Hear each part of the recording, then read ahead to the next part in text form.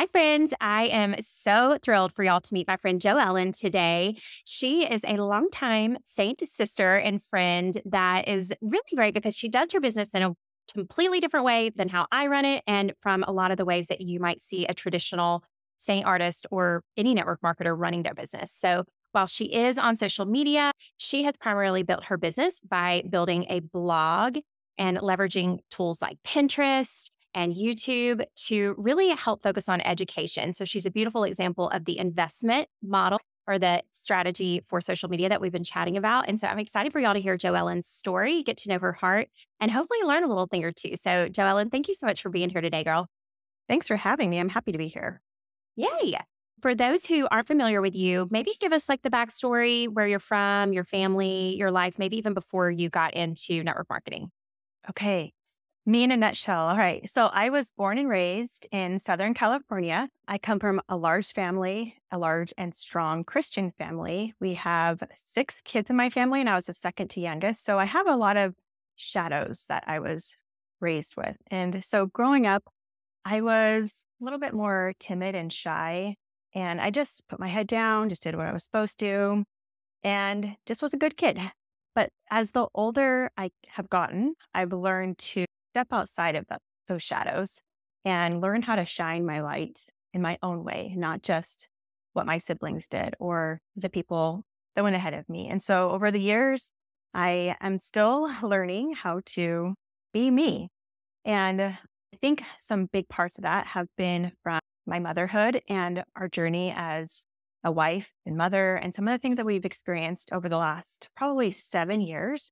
I've been married for almost 20 years to my husband. And I have four kids. My oldest is 18, 16, 13, and 11. I have three, three boys and a girl.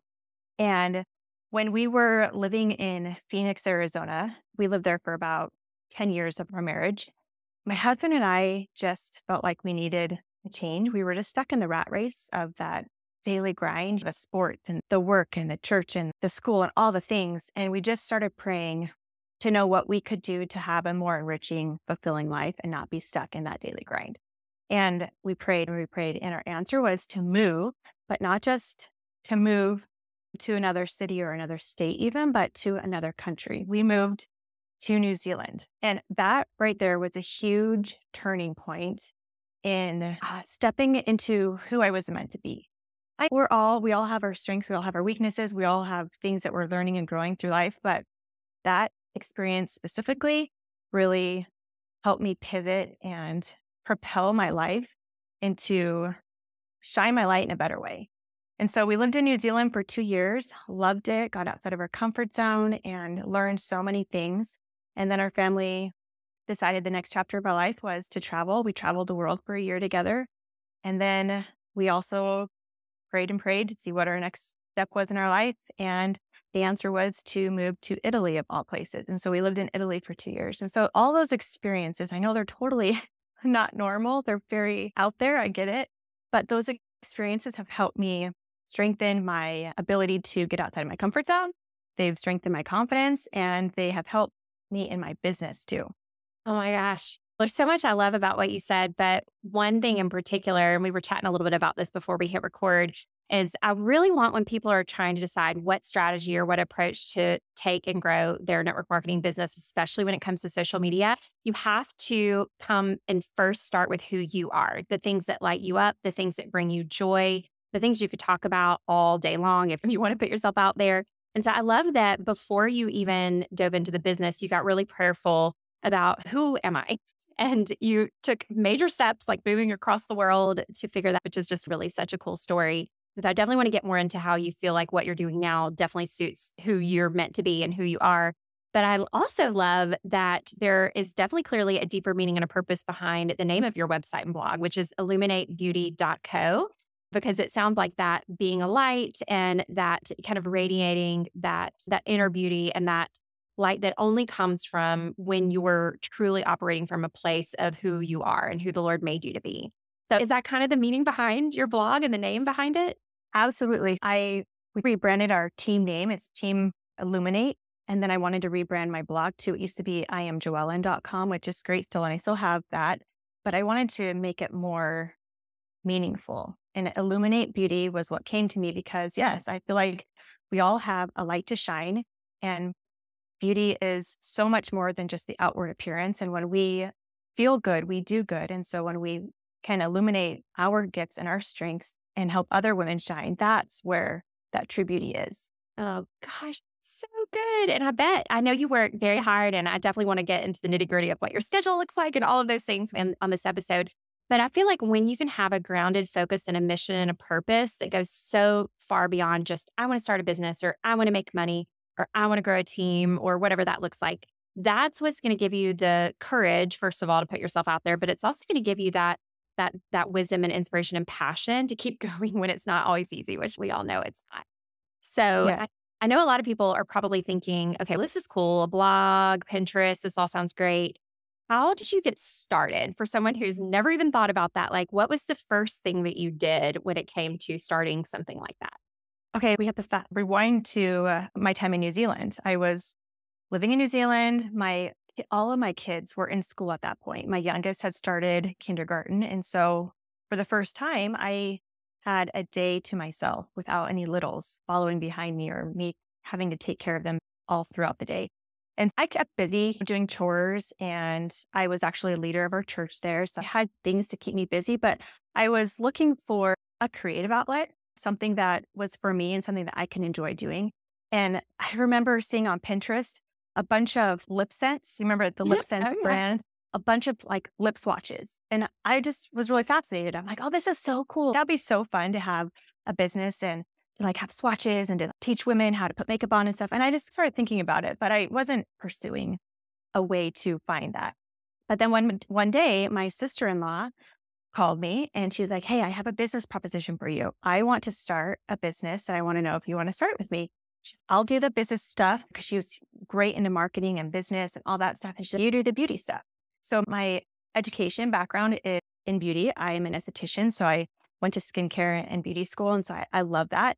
And so it just made sense. And so I wasn't necessarily looking for a business opportunity, but she presented it to me and it felt right. And so I knew absolutely nothing about blogging, about video, about photography, about editing, about any of that stuff. And so I said, Yeah, I'm willing to to try, but you've got to teach me.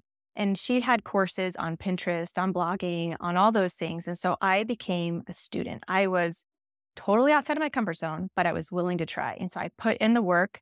I took her courses, I learned, and then I implemented. And so we started from scratch. And our mission from the day one was to build our business completely online. And I know a lot of times in network marketing, people thrive on doing in person events and all those fun things. But our mission and goal was to just build it online because I was in New Zealand, she was in California. And so we needed to make it work for the both of us. And so our goal was to create a blog and it's just a packet full of great information that if people are Googling, we would be the answer to their question. And so we built our business with our blog and Pinterest definitely is a huge part of that because you can pin the things that are on your blog. And then I started dabbling in social media and getting more knowledge and experience in that. And so now I'm on all the platforms just to, so that's easy for people to find me. But so I started from scratch, absolutely learning all the things because I knew nothing from the start. That's so cool. And I, I love Michelle too. I actually, I've been wanting to have her. I need to get her on the podcast as well. And we'll make sure to link some of her courses in the show notes of this because I know she's got a lot of great resources. And that's one of the reasons why I call this the investment approach is because sometimes you do have to invest your time and sometimes money in something like a course where someone can walk you through the steps of how do I start a blog? How do I really do Pinterest well? And we're lucky, obviously, in our company, we're so blessed that you were able to do a breakout presentation at our conference specifically related to growing your business on Pinterest. So some people will have heard that, but if they didn't have that opportunity, it's still out there for you. But it does t- take getting really focused. And that's another thing that I talk about a lot here, which is pick your path and fill your funnel there. So instead mm-hmm. of initially getting distracted by all the other ways that everyone else was building their business, which you're so right. At the time, it was primarily in person. Social was an, a facet of it, but I would say it wasn't quite like it is today. But you guys put your blinders on and laser focused in on doing it in a very unique way that suited at the time her skills, but then something that you could learn and thrive in along the way. That's really cool. So tell me about the partnership side because I forgot about this and I forgot that you guys did start your business together, right? Do you still run your business together or does uh, or do you primarily do it now? Because I know she has her own all the courses and coaching and stuff that she does. So we started it together. I was her downline. And then a couple of years into it, she's so brilliant and she's always has so many great ideas that she felt like she did what she was meant to do with that business and she wanted to spread her wings and do something else. So now she has a marketing agency that she is just growing and it is just thriving. So she no longer is part of my business, but she handed it all over to me. And it's going back to the whole thing, feeling like I was in, always in a shadow growing up. I even with her as a business partner, I felt like I was in her shadow because she was the brilliant business mind behind our business. And I was just the face. And I say that I don't mean to demean myself, but I just felt like I was hiding behind her because she was so much better at the business and all the things that I learned from her. And so as soon as we parted ways, I was able to step up and stand out and shine my light in my way and become the leader that I was meant to be. She, I could not have done it without her. She was taught me everything I needed to know to get me going, but I was able to take what she learned and taught me and then just propel myself forward. And I've been able to quadruple our business since then. Thank you for being very vulnerable and honest and sharing that because I know, especially a lot of siblings, I'm the oldest of my little brother, but he was the darling because he was like big into golf and all that stuff. And so I know what it can feel like, whether it is like your actual siblings or again, a sister in law that kind of takes off and knows all the things. But now, truly, I know you're known in our company for sure as the expert when it comes to this. And again, it's just been really cool to watch what you've done with the business. And it's, I'm so excited to be able to share some of the wisdom that you've shown. So, Let's talk specifics. So you started with the blog and mm-hmm. you, like you said, you answered questions like what are people searching, which I've already done. Oh, actually, I don't think I've aired it. It'll air after this one, but I did an episode talking a little bit about the importance of SEO, search engine optimization. And it sounds like that's what you guys did. You were tackling exactly what people might be searching for when it came to the makeup, and you created the content specific to that. So then how did you leverage things like Pinterest? I know that's a big buzzword. It's obviously what you talked about or even YouTube. Like how do you tie it together? What does that look like in terms of like content creation? How did you tie it all together? So my blog is my hub. That's my bread and butter. That's where all the information is and that's where I get a huge part of income from my business. And then a way to promote your blog is to pin your images and your pins on Pinterest. And so that goes hand in hand. It's like you're marketing for your blog. And then the same thing with YouTube is if in my blog post, I let's say it's about the difference between contour and bronzer, then a great way would be to have a YouTube video that is in, embedded into my blog post that people can watch because we have all type of learners. We have visual, we have audio, and people who just want to read or people who want to actually want to see something. And so it's great to have a blog post that has a few things. It has the words, it has the pictures, it has the videos. And so that's when YouTube goes hand in hand with blogging is because then I can use a YouTube video in my blog post and then I'm on different platforms and I'm now on Pinterest, now I'm on my blog and now I'm also on YouTube. So it just is a better way for people to find the information that they're looking for. Okay, that's so smart to basically instead of trying to think of it as oh, I've got to do create content here and create content here. And I know that now you doubt you do a little bit of that with things like Instagram, and we'll talk about that. But really, it's the blog is the hub, the home for it. And then things like YouTube and Pinterest connect to that. So it's the same questions, the same things people are searching for. But because Pinterest, for example, I learned this from you at your presentation. Pinterest is a search engine, right? At its core. Yeah. That's what people are doing. And so when they're searching whatever product whoever's listening represents, they are going to see the things from your blog, which is then going to take them, say, maybe to the video that, like you said, is up on YouTube, but it's embedded, which makes them stay on your website, right? which then like Google happy because they see, oh, people are staying on the, the website longer. Is that how it works? Yeah. I'm learning yes. myself. Yes, you're doing great. and as I've shared a little bit with you, this is definitely something that I'm personally wanting to like dabble in myself. And so I do, I think it's one of those things that it is, it's, it is going to take a work and it is going to take effort and it is a little difficult. I'm sure you can agree to figure out and navigate a lot of these tech components. But I tell you what, it's not as hard as trying to go viral on a post on Instagram or playing the lottery on TikTok by just like doing spinning your wheels, doing five yes. reels a day, especially if that's not your natural gift and skill set. And I know there are women like us listening who are like, show me how to do it. Tell me what to do. I can follow some steps.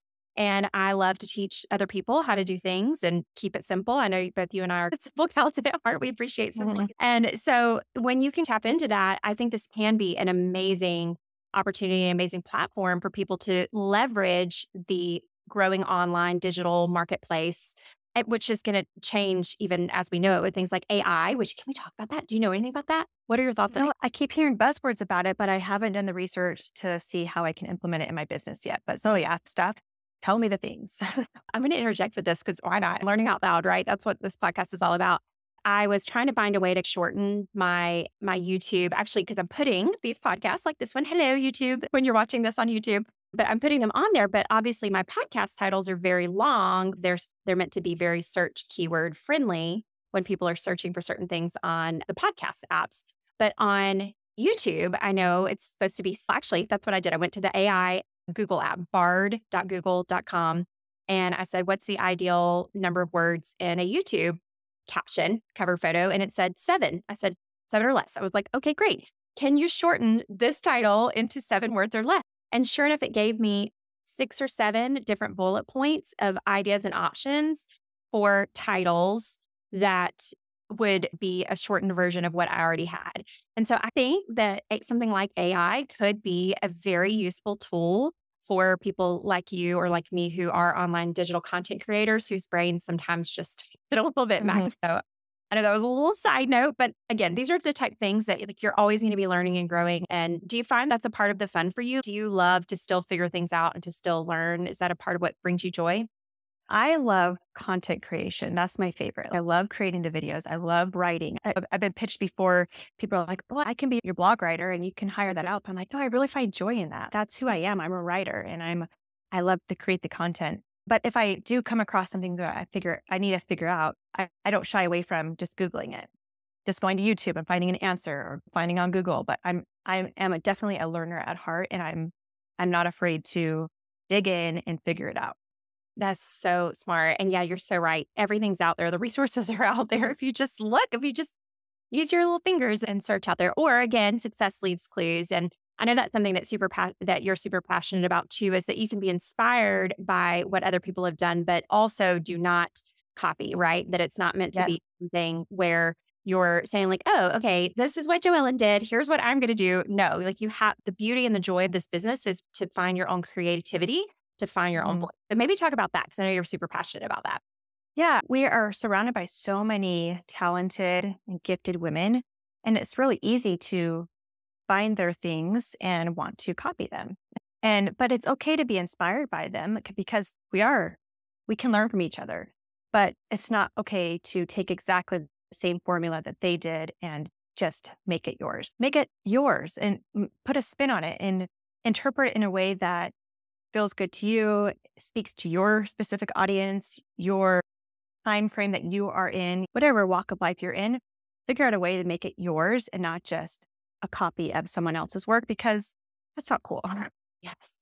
I know it can be super frustrating for when you are a big face. Because if you Google Seint, JoEllen's websites are going to be one of the first that pull up on anything that you could search. And she's done that very intentionally. But I'm sure that leads to people being like, oh, great, I'll just copy and steal this and do it. And it's no, that's not what we're talking about. This is mm. you using your own gifts, your passions, your voice, your personality and finding ways to not only find the fulfillment that can come from actually like people finding you and buying something from you, right? Or even partnering with other brands or advertising and things like that, which I want to talk about that in a second.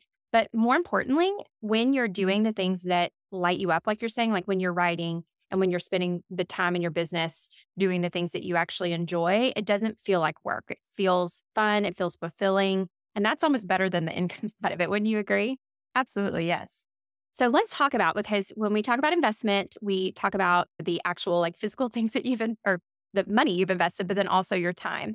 So let's actually start with the financial side of it because I, I, mentioned, which I meant to get permission from you beforehand, and then afterwards I was like, by the way, we talked about you on the podcast, but it's not a previous episode that you have definitely made some investments in your business, some that have gone great and some that have maybe not gone so great. So how and when do you know when to invest in someone, like maybe a partner that can help up your game? What talk to me about what that looks like and maybe your experience in that. So I love the idea of investing because you just learn more and you have to spend money to make money. When you put more money into your business, usually you make more money. And so it it, it can be like, oh, I don't know if I can stomach spending this money, but in the long run, it usually it evens out in the long run. So, some things that I've invested in are definitely like the courses. You can do Pinterest courses, blogging courses, social media courses. Those are all things that are definitely easy things to find online and make the time and the money invest. And, and there's there are courses that range in all budgets from super inexpensive to mid-range to way expensive. So it depends on your budget, but definitely worth the money. Other things you can invest in are coaches. I've invested in like the Bob Heiloo network marketing program that he has, also the Kristen Boss one. I just love to learn and I love to push myself. And I feel like I can't succeed and go beyond a certain point if I don't learn more. And so there have been times where there have been things that I'm like, I maybe didn't get the most out of my money just because maybe I didn't put the effort into learning as much as I could, or it just it didn't work out as good as I wanted it to. But in the long run, it's okay because you always, it's a learning process. So you're going to have failures and you're always going to learn from them. So you just know, okay, that wasn't that successful. So maybe I don't need to invest in something like that again. So it's just, I'm a huge proponent and a big believer in spending that money, but doing it in a wise way, looking at your business and saying, okay, what areas do I need to strengthen? If you haven't grown in a long time, that's your sign that you need to invest in something. Invest in a course, invest in free stuff on YouTube, your time. Get outside of your comfort zone of what you normally do and see what you can do outside of that to propel your business forward. I love the quote by Einstein insanity is doing the same thing over and expecting different results. and so if you are doing the same thing over and you're not noticing growth, you've got to change things up. You got to get outside of your comfort zone. You've got to make the investments, whether that's in a course, um, in learning somewhere else, or collaborating with someone.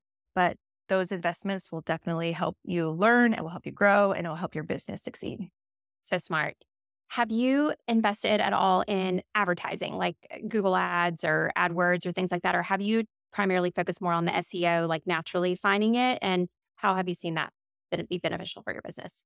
So last year, I did play around with Pinterest ads mm. and they, I don't know, it was expensive.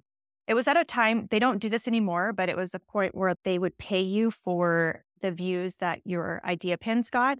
And so I justified it because it equaled out like the things that the money that was getting paid for from my idea pins getting viewed, it paid for my advertising. It was, it can be very pricey. And I think it was successful, but I stopped doing it because I didn't feel like it was successful enough to make the investment because I felt like it was just I was spending more money than I was making at that time. So I did play around with that. That was one of those things where it's like, okay, maybe it wasn't as successful as I wanted it to be, but now I know that that's probably not the right investment right now in my business. I do have ads on my blog. That's not something that I pay for. They actually pay me. So you can do like Google Ads. I do Ezoic.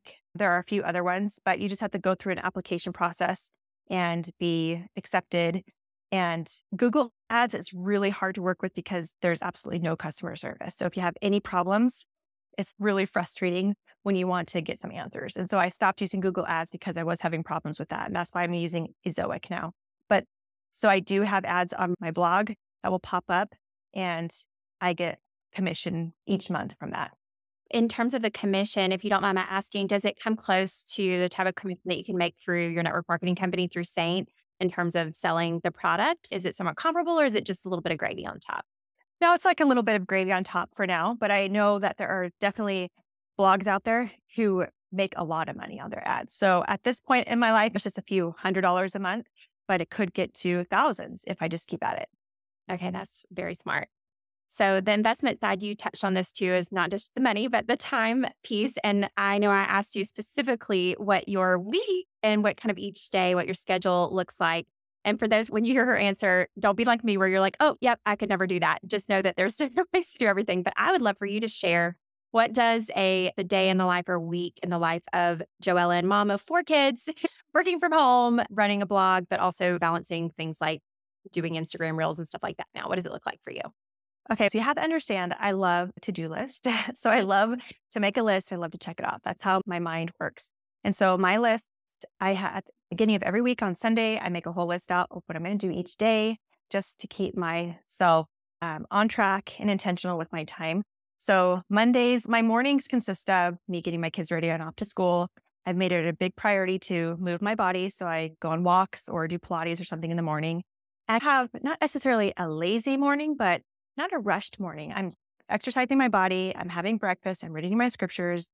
I have like my little miracle morning that I call it, where I read something. I usually read 10 pages out of a personal development book, just getting my mind ready for the rest of the day. So if I'm not productive for the rest of the day, those morning hours were really productive. So that's how I start my morning. And then Mondays, Tuesdays, Wednesdays, Thursdays, Fridays, I just schedule out different things. So Mondays usually are my scheduling days where I schedule out my Facebook group for my team and for my beauty group.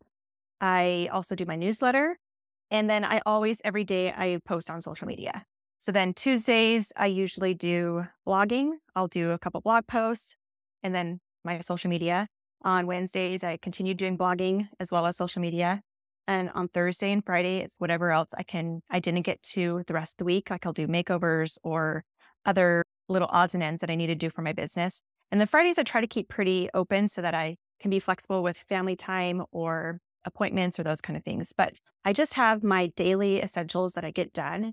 And then whatever extra time I have, then I put in other time. So uh, also like I post every day on social media, but I also schedule out through my week what days I'm going to be filming some of those videos. So whatever at the beginning of the week, I know what I'm going to be posting Monday through Friday. And so during the week while I'm getting ready, I just make sure that I kill two birds with one stone. And while I'm getting ready, I'm also filming a video that I was going to post later on in the week. So I know it sounds overwhelming, but that's just how my mind works. I like to have it all listed out. I just have a notes section on my phone with my to do list. And as I get something done, I check it off and I move to the next thing. I love that. So, your newsletter, is that an email newsletter and do you send that weekly? Yes, I send out a weekly newsletter, and that's to my customers. That's also to people who have subscribed to my newsletter. I always have a motivational message. I share my top five favorite things. It, also includes like a style tip or a beauty tip, a makeup tip, a confidence tip, skincare tip. So I just make sure it's full of value and it's something that people want to open when they get in their inbox. Do you still talk about the capsule wardrobe? I have been on social media, but I know that you and I shared a huge passionate obsession with that. Is that something that you still touch on sometimes? I don't touch on that so much anymore because now that we're not traveling and I'm not living abroad, I have gotten away from it's sad. I've gotten away from the capsule wardrobe, but I do still love the idea and I definitely still incorporate it when I travel. Yeah, it is. It's a great idea. So I'm sure they could search your blog and find out, find some old things because it's definitely been a blessing. And I'm my, let's just say the number, the quantity in my capsule has definitely grown. I had to order more hangers on Amazon.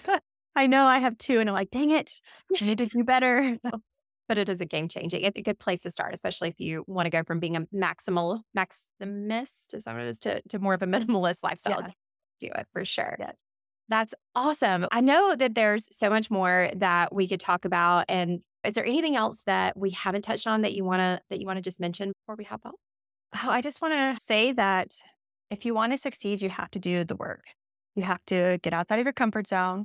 You have to put in the time, the effort, and the money sometimes to see the fruits of your labor. And it's easy to compare what other people are doing and how what may seem to be easy success for somebody else, but you have to know that everyone else is putting in that work and effort too. We live in a, an age where we're just used to the get answers quick and get results quickly. And so we've kind of gotten a little lazy. And so we have to put in the work and consistency to see the results. Great, brilliant advice and wisdom. along with everything else that you've shared. And I know that if anybody wants to follow you a little bit more, they can certainly read your blog. But what is your handle on Instagram if they want to follow you there? On all of my social media platforms, you can find me at I am JoEllen. It's I A M J O E L E N. Okay, awesome. That's great. I'll make sure to link it all in the show notes as well. But definitely go check out JoEllen. She's a beautiful example of how to grow your business in a different way. And honestly, I couldn't think of a better person to share this investment strategy as well as you have. So thank you for being on today, JoEllen. You're amazing. Thank you, Heather.